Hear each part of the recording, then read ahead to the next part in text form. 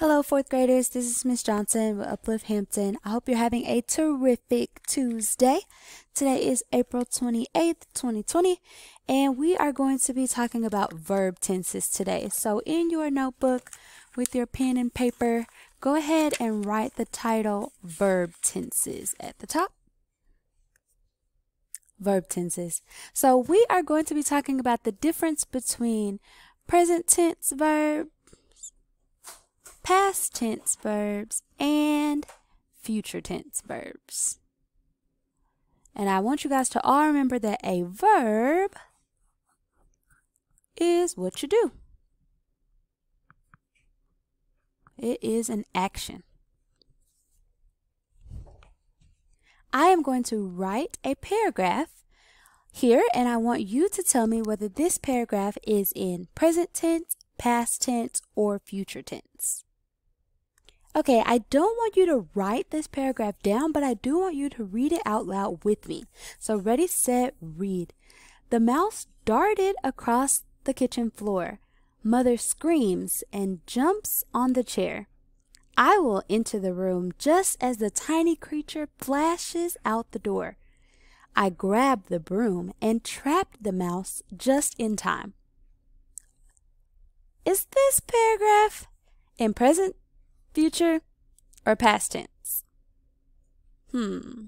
Let's look at the verbs to figure it out. So, let's go through and identify all the verbs. The mouse darted across the kitchen floor. Mother screams. That's something she can do. And she jumps. Something else she can do. On the chair. I will enter the room just as the tiny creature flashes out of the door. I grab something I can do the broom and trapped the mouse just in time. So, with these underlined verbs, are they all present? No. Are they all past? No. Are they all future? No. So this is a very confusing paragraph. And sometimes in our writing, we confuse our verb tenses and we end up coming out with a paragraph that is a bit confusing to the reader. So we don't know if this story took place today or yesterday or if it will take place tomorrow. It's very confusing. So now what we are going to do is take each of these verbs and categorize them into present, past, and future. And then we'll get more in depth on how to identify which verb tenses and which to use in your sentences. Let's uh, make a column. I don't want you to write this down, but we will use this paragraph um, for the next part of the lesson. So I just want you to split your um, paper into threes. So you're going to have one column that says present, squiggly line, past in the middle, squiggly line, and future.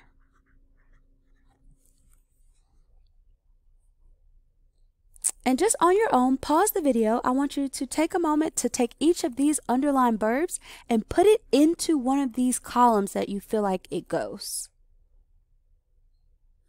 Okay, let's see how you did.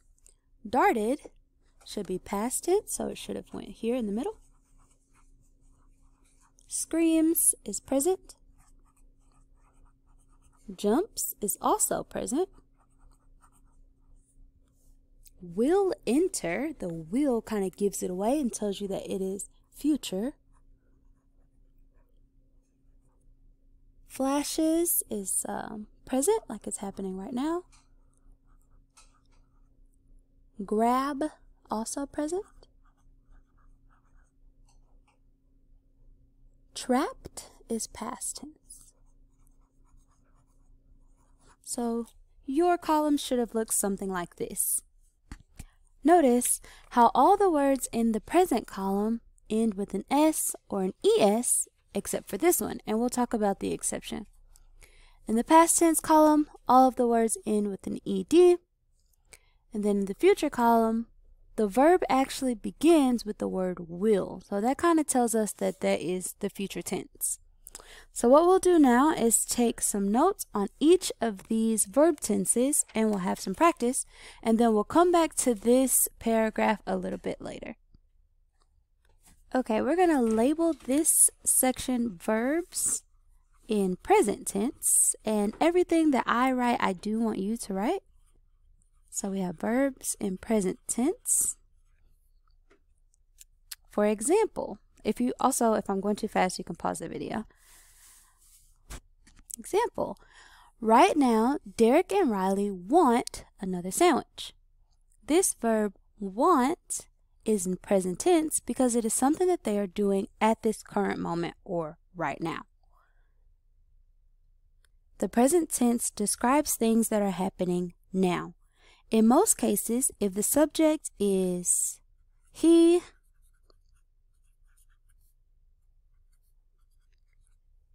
he, she, it, or a person's name, so like a proper noun, then we are going to add just an S to, to make um, the verb present. So for example, the verb cut would become cuts only if the subject was he, she, it, or someone's name. Place becomes places rain becomes rains. Notice how we just added an S at the end of that verb to make it present tense. If the subject is I, you, we, they, or more than one, so this one is plural, noun, then it does not need an S. You do not need an S. Okay, so those words stay the same. So wait is still wait. Paint, still paint. And like, still like.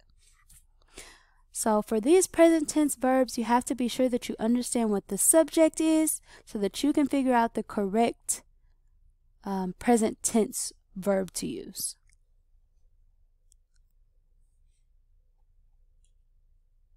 Now we're going to move on to verbs in past tense. For example, Joe watched Frozen for the fifth time last week. Because this is an action that took place in the past, as in last week, then this verb watched has to be in past tense. You know that a verb is past tense when it ends in ed, and we're talking about things that have already happened. So to turn most verbs into past tense, we simply add ed. So here, Adding ed, for example, cook becomes what? Cooked. And walk becomes walked. If, however, the verb ends in e, then we got to do something a little bit different. And instead of adding ed, we simply just add a D because it already has the E there, so we're just adding a D. For example, place becomes placed. It would look very weird if we added an ed here and it was like placide. That would be weird. So we just only add the D there. Another example is dance becomes danced.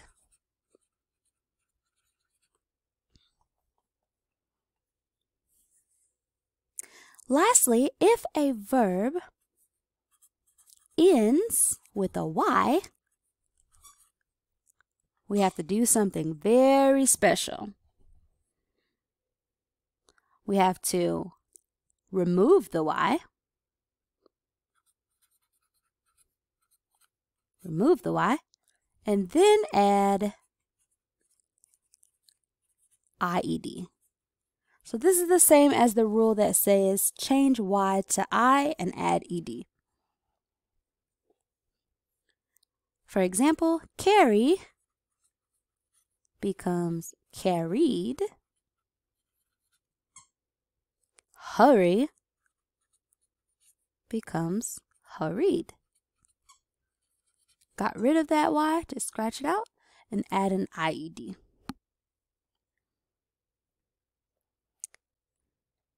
Now we're ready for verbs in future tense. These to me are the simplest. For example, tomorrow Molly will eat breakfast with her grandma. Okay, because this is an event that has not taken place yet, we have to use this verb will paired with eat, will eat, to show future tense for what will happen tomorrow. So future tense always describes things that haven't happened yet. And to turn these uh, verbs into future tense, we just simply add the word will to the base form of the word. So if the word is dance,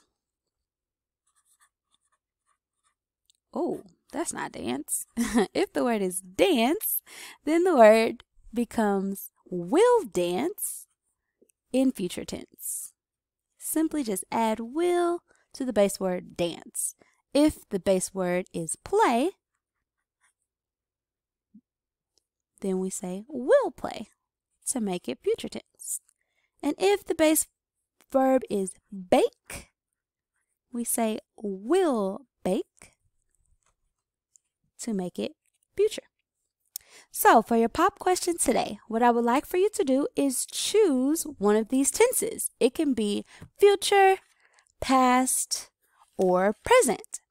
What I would like for you to do is rewrite this original paragraph that's all confusing in one of those tenses that you choose. So I'm not going to tell you which one to use. You have the freedom to choose whichever one you would like or the one that you feel like you're strongest at or maybe the one that you feel like you need more practice with. And you're going to take all of these underlined verbs and write them in the tense that you choose. So the picture that I want should have this entire paragraph rewritten and I should be able to clearly know which verb tense that you've chosen. Okay, so go ahead and write that and then send me a picture on Class Dojo. Don't forget that you do have a NoRedInk assignment that is today. It should be very easy. It's over verb tenses and it will cover present, past, and future just like we did in the video. So I will see you guys on Thursday. Until then, stay safe. Johnson out.